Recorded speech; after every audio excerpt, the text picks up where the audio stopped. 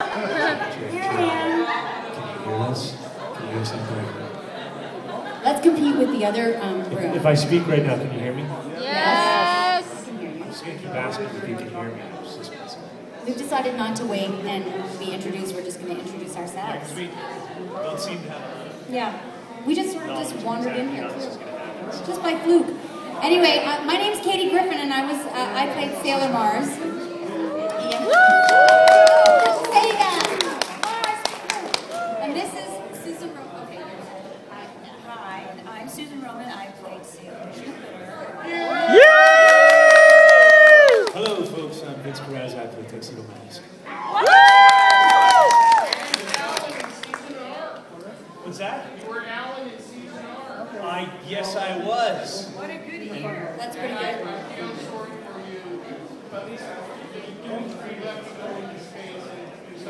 Exactly. We uh, didn't I kind of become good at the end? As Alan?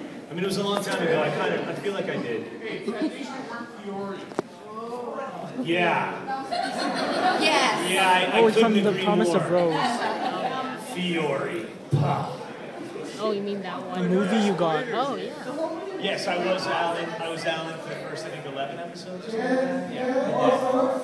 Then, then I took over Tuxedo Mask. So how are you guys doing? Great. Is everybody having fun at the convention?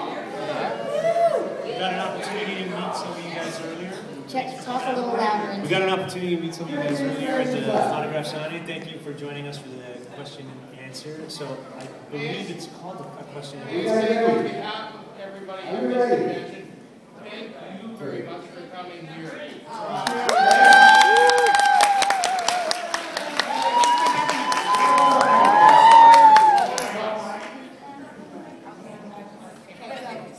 So, um, before we convene this meeting, I, I would like to ask, I would like to ask just, uh, if anybody can say right off the top of their head, what was their favorite Sailor Moon episode? Does anybody have an opinion? Crystal Clear Destiny. Crystal Clear Destiny. Does anybody else agree? Sorry, which was that one? Queen. Queen of Destiny, okay. okay. And um, are there any guys who would like to register an opinion about their favorite Sailor Moon episode? Yes. I really like the it's Moonlight lights up the galaxy, the, the, the series finale. You guys have the most amazing memories. This is fantastic. I can't believe it. There's somebody who's making a lot of noise over here. They have to be quiet. No, I'm okay. No, I, I think, I, I, no, you're unfortunately, yeah, unfortunately, I think both panels are happening at the same time, and I'm not sure that that's going to be coincide. But I guess we just have to go on without it. My favorite episode is Sailor Jupiter on in, in, in R. Especially when Jupiter came in and did her own. Nice to meet you.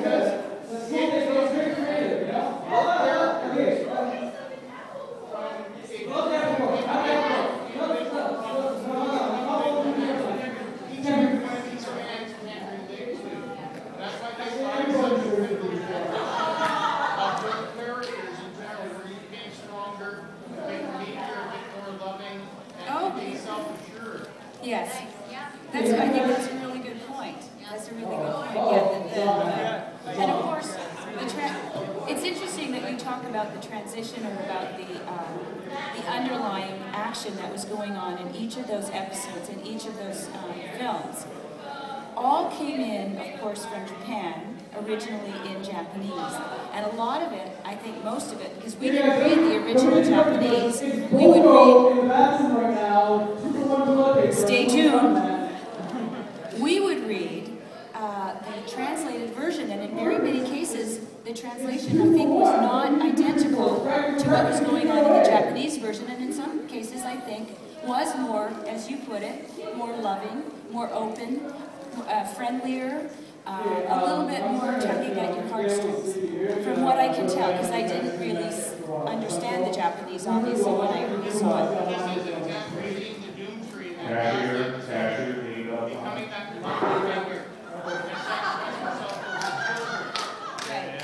You know, these themes, you guys translated, and again, technically, haven't been in each and every one in some way. That's really good That's good, yeah, no, I, I agree. That's great. But I do have one question for you, Susan. Thank you very much, Mr. President. Your Honor, How many applause. boyfriends do you actually have? Oh, it's my boy, might be my boyfriend, not one. The name was, like, she had many suitors, let's say. All right, exactly. You know, it was, I met some of you today when we were signing some things, and it was said to me more than once that uh, Sailor Jupiter was badass, and I'm really, really pleased to hear that that was an assessment. So maybe that's going a bit far, but she, she was very um, uh, opinionated and strong and firm, and she had anger management problems, all sorts of things that, all sorts of things that all of us can Say Sailor Mars did too. I was just gonna say, she learned from the best. She wasn't, she wasn't mean, she wasn't, she was really, actually just really super strong. And she just wanted, she was just a little more serious. Tell Chad feelings more. I know, I do, I do think that she should have got together with Chad. That was a big mistake. he was a musician, for goodness sakes. I didn't mind that, I love that. I thought it was sweet, I didn't mind that.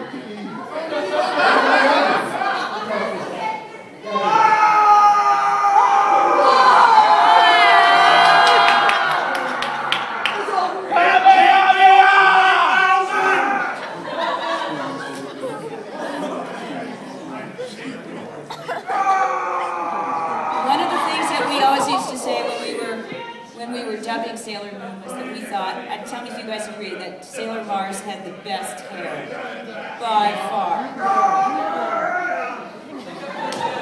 I just, oh, I just thought Sailor Mars hair was. You have the best hair. What's that? You have the best hair. Tuxedo Yeah, she Mask? does actually. Yeah.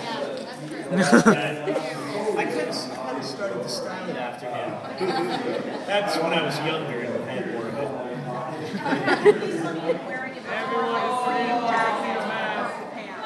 You mean in real life? Yeah. No. no, but I did dig the tuxedo. Although I had some cool outfits.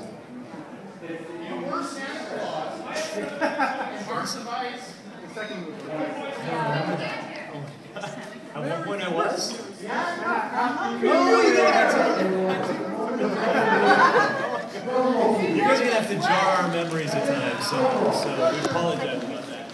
It's been like 15 years. I don't, some things I forget. Well, it's 20, 20 for the 20 for the Japanese. Yeah, right? 20 since for the first episode. Yeah, but the English stuff is, is 16 or 15 now.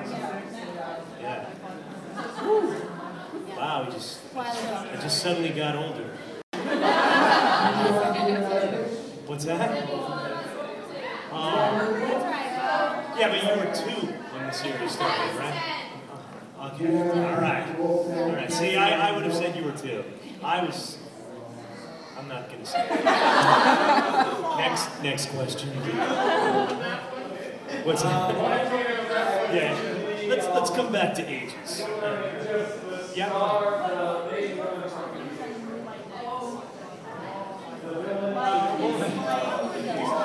my personal views on the movie. I think I don't know that I had a lot of personal views about anything. I mean, I just enjoy it. I just, you know, I, as an actor, I just like. You know, Actually, you know what? I if I'm thought, being I thought that that was If, if I'm being honest, I found a lot of things odd about the series. A lot of the jumps and like things that suddenly changed, and then how it was explained. I mean, it's so funny. Just the other day, I was reading a little bit again, just trying to refresh my memory coming here. And I was like, as I was reading through one of the timelines, I went, "That happened." I'm like, just. You know, I, but, but like Susan pointed out, uh, what was amazing and interesting to me always when we were recording is sometimes hearing what was going on in the actual series in Japan. It was so I wouldn't say completely different than what we were doing, but sometimes the intention or the way it was portrayed in, in, in English speaking, uh, I, I found it too way more interesting. I mean, I just, it, it was deeper, it was, uh, you know. The other thing is, we, we did something called the Rhythm Band. And the, and the script for us was written out by um, a woman from Montreal, Nicole, with crazy handwriting. So basically, what would happen is we would get the script. So the only time we would actually see the episodes or know what was going on was after the fact. So we had no idea what was going on as we were recording. It was basically the rhythm band is watching the lines hit a mark. And that's when you start talking to, to match the lips flapping. It was actually quite tricky until you, especially with Nicole's crazy handwriting. So we didn't really know the storylines until after we watched it. I had no idea what was going on. And then when I watched it, I was like, Sailor Mars rocks. Sometimes we would record scenes like battle scenes and stuff. I mean, in order to make the word match exactly like the lip flapping, they would write the word out sort of almost phonetically. Like if it was, say I was yelling like ah, they would write A A A A A H H H H H, and I'd have to like hit that as it's hitting. And, and they would play the scenes for us as like we, we wouldn't get the scripts ahead of time, so we'd walk into sessions not really getting a chance to really emotionally connect with what we're trying to portray. And so I'd read scenes cold sometimes, like battle scenes cold, reading it off of rhythm band, and then after it was over, I'd be like, what just happened? I. I'd be exhausted from the actual battle scene just because I, because of trying to match where the words hitting the line. You're like, it was, it was so crazy. And, sometimes we finish episodes, and then I'd find out what happened in the episode. So I'd be like, it was completely the opposite of how every other animation I, I mean we've ever done. You know. You know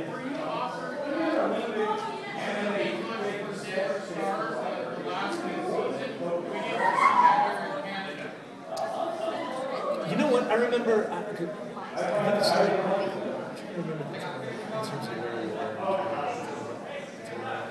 But I remember talking to Nicole. Nicole was sort of our producer, the director that, that, created all the rhythm and the dubbing. All our sessions. Just so you know, there's a countdown on. I believe we're all leaving for Mars. Have to fight. Yes. Joining Curiosity. The rover. Anybody get? No one got that joke. Thank you very much. We landed a rover on Mars. Just, just checking, just checking. Um, yeah, so uh, I remember having a conversation with Nicole about that. I don't think we did it though. No, we never we never recorded, but I remember her saying that, that it was going to happen and that it never did, and I don't. So we never really found out why. You know, I don't know. I I found think that I know odd. why. No, but there, no, there were, there were gender issues though with Yeah. Sarah LaFleur's character. I it Oh, was yeah, uh, uh, so- uh, so- Uranus. Um, anyway, the, what happened was at the end, Yeah, and that's yeah, they were yeah, exactly. Quote they unquote. got bought out, I think, by the, I think, I think, it, was a money issue. It was, it changed hands, so somebody bought, so that's why I think when it comes back, they may recast.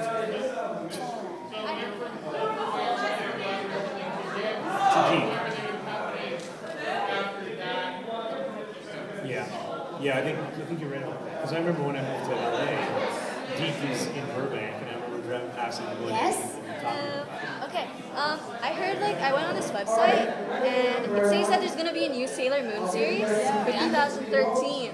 Yep. That's right. We have heard the rumors, but as we were just discussing, it, it's going to depend. If it's still dubbing, we have a good shot because it's way cheaper to do it in Canada. So they'll keep all the regular Sailor Scouts, except for the American boy over here. He's just. um, but but if, if it is in fact bought out and it is in LA, then I have a feeling they'll recast. I don't know. I'm going to be hopeful. Cup half full. Is Yes.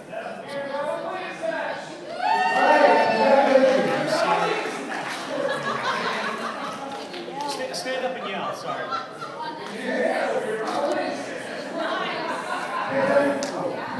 Yes. That's a resounding yes for all of us.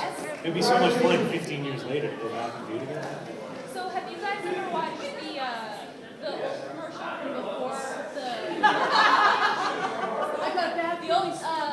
All right, uh, our second yeah, place winner is Ronald. Fox, I think, doing uh, a half cartoon, half live action. Never seen that. There were actually like all these like parasailers and they were done in a completely different animation. Sailing around. and stuff.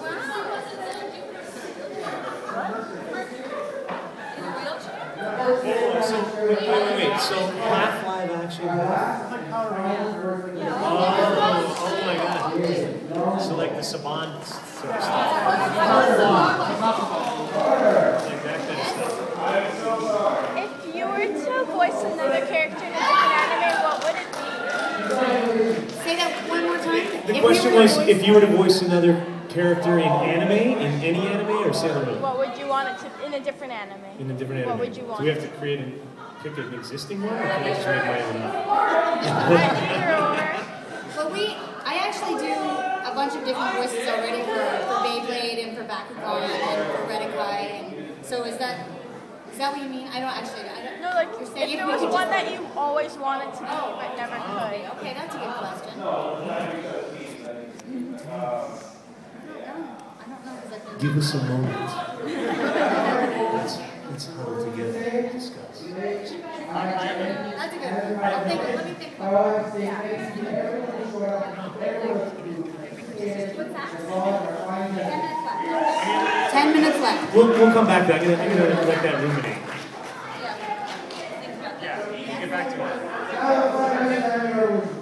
As a cast on whole, how do you guys feel working and interacting? Do you feel like very family-like or very, as a cast, as a whole?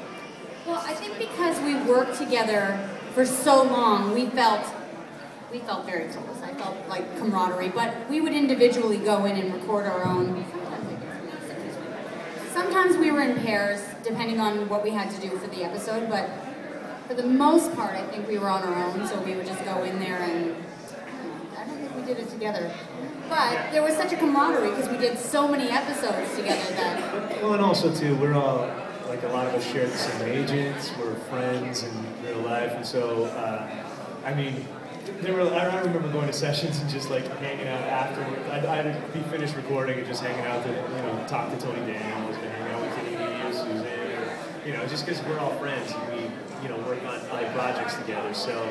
Uh, but I, I do, I, I do have to say, because we did it for quite a while, that I think that also helped our relationships grow. You know, we become closer because you're seeing each other on a weekly basis, you know, on a regular basis. And yeah, I mean, I think we had an amazing cast. We're all still friends.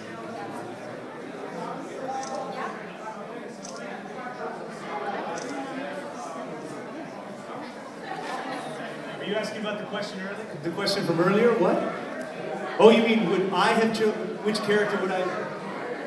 You mean have a relationship with? this is a loaded question. Let's let's take a poll. What would you like my answer to be? I want to, What do you like my answer? to be? If I'm being honest, I thought Sailor Mars was the best looking, the best drawing of the. I did. I, I thought Sailor. Oh wow, that's that's impressive. He has a tattoo of Sailor Moon. That's, Wow, that's awesome. that's impressive. And no tuxedo mask. He's in he's in a place that you can't share. I understand. Near and near, I'm near and dear to his heart, people. Near and dear to his heart. That's what so, Yeah, I actually thought that the Sailor Mars character was, I thought it was drawn the sexiest. Can I, can say that? I didn't realize so there were so many Sailor Mars haters out there. I thought it was- But of all the male characters in Sailor Moon, Chaz. you see where you see where I'm going with this, right? You see where I'm going with this. Bob the Vulture, come on, Bob Do you know that there was an episode? I'll just say that, share this little piece of information because they never credited me for it. There was an episode where I actually played the villain, and I kicked my own ass, so, which was fun. I can't remember they because Nicole, it was she did it on the spur of the moment. They were going to hire an actor to bring him in, and then I was like, I never get to play the villain. So that day we were film, we, we had just written. In a, as, as Alan, as Alan, I did. Yeah, Yes, yes, but I mean like the evil stuff, like where you get to create a voice and be like crazy, you know what I mean? So I, I wanted to do like a wacky villain guy because I was always, you know, coming in with my roses and saving the day and stuff like that. So I, I wanted to be bad guys. So, so Nicole, we it went uncredited. It went uncredited, but I, I can't remember which episode it is exactly. Out of many. Well, because on the day that we did it, I think I recorded like 15 that day, 15 episodes in that session. So we just threw it in, and I just remember kicking my own ass, and it just it was kind of it goes uncredited. It's, it's out there in the universe. If anyone can figure it out and email me about it, that would be awesome. So I always wanted to know which episode I was the villain. I can't remember. What was that? I don't. I don't at all. I, it was like I said, we did like 50, I mean, that particular day, I probably did 15 or 20 episodes. So I mean, there was so many villains, and it's, it's, it's hard to remember that stuff. Those sort of big characters that were consistent. Very good little history. I remember when seeing on the entertainment thing, we're talking about the Sailor Scouts and there's gonna be what's happening in the basement from Wonder Woman, right, you know, build up girls. And that actually they come through, through your characters, you built up a strong generation of female heroes and also the main hero and villain element. And that actually came through. Through your guys' uh, Yeah, I thought it was very empowering. I mean, other than the, the little tiny skirts and high heels. Um, but I did think it was very empowering for, for young girls. And, you know, yes, we were all. Well, that's what's really concerning. Like, she comes along, anybody gets her, she just picks them. Yeah. Oh, it's mostly her. Yeah. Yeah. Well, it's, so, sorry, Espresso. um, one of the things that I really liked about this too, uh, this is a story that I heard when I was younger. Um, they asked a whole bunch of little kids in school, little boys and little girls, what they wanted to be when they grew up. And when they asked the little boys, they said, I want to be a farmer. I want to be a, uh, uh, an astronaut. I, I'm going to be a doctor. They asked the little girls, what do you want to be? And don't forget, this is going back 25, 35, 40 years. Well, I want to She be a meant to say teacher. I want to be, no, the times were different. I want to be a teacher, I want to be a teacher or a nurse. And then they said to one little girl, well, what would you want to be if you were a boy? And she said, if I were a boy, I could be anything. That's in my generation, that that's the way people thought. And so when I started doing Sailor Moon, and I started reading this dialogue that, as Katie was saying, it goes by so quickly, it's just up on that screen and you're reading it, and all of a sudden it says, if it's in big letters, it means the person's angry, so you're reading away, and all of a sudden it goes, and I think that you're crazy, and I think, and all of a sudden you know that's the emotion you're trying to portray. What I understood was that these girls, and they were girls, spoke their minds, they said what they felt, honestly and not maliciously. They just said it. This is how I feel. And that's real.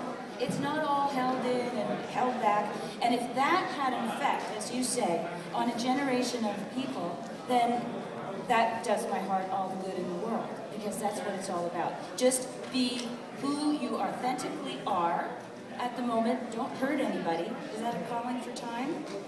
Yeah. All right. Thanks,